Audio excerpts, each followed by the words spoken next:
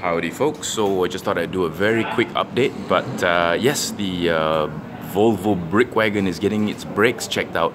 No point going if you can't stop, always remember that and the most important component of your car are your tires so just make sure your tires are always great. So yeah, uh, checking out what's happening with the brakes. I'm not very happy with the brake feel so apparently the uh, brake servo uh, over there in the master pump uh, there are some valves in there, rubber seals that have gone a little bit awry and they are getting replaced. So, but to tell you the truth, the uh, reason for this video is not the Volvo for today.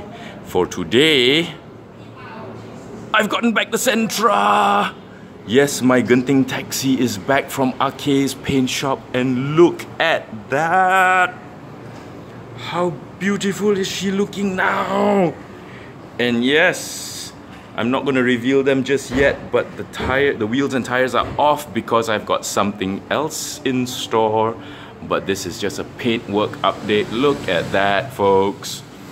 She's back to her former glory. This is the original color. It's a light metallic blue. I don't know if you can see it in this light or not, but it's a light metallic blue and it is superb. Oh my, I was actually quite afraid to drive this car just now because it looks so good. I was keeping well away from everybody.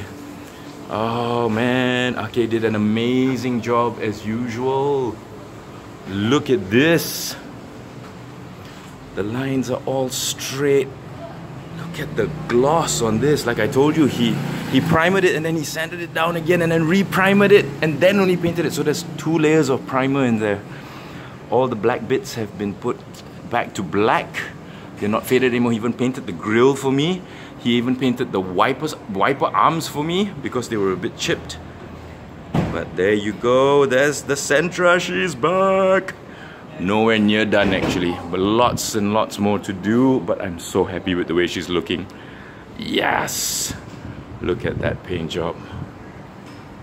Nice. So this is just a paintwork update just to show you guys that the uh, Sentra is back. Look at that boxiness, that beautiful 80s boxiness, which I love so much. So yes, so, so happy. Thank you, Arke. What a wonderful job. Amazing. The car looks brilliant, absolutely brilliant. So yes, stay tuned for what's going here in those arches coming soon. Yes, ah.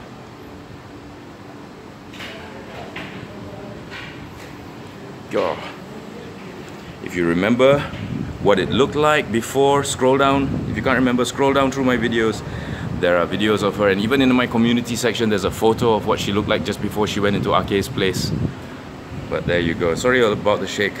Uh, I'm using my handphone to actually shoot this because my GoPro, I left the SD card at home. Real genius. Anyway, stay tuned. Lots more to come. And thanks for watching. Bye.